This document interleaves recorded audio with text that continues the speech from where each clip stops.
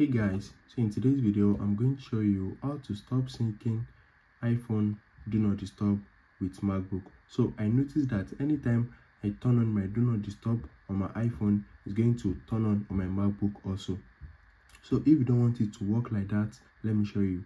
It is very easy. So at the top right corner of your macbook you can also do this on your iphone. Just click on your control center. Once you click on the control center on your macbook you need to click on this focus.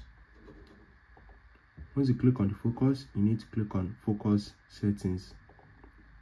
Once you go to focus settings right here you're going to see share across device. So just turn it off. As you can see i have turned off my own already. So if i turn on do not disturb my iphone it's not going to turn on on my macbook. So that's it. Just turn off share across device. If you found this video helpful smash the like button and subscribe to my channel. Thanks for watching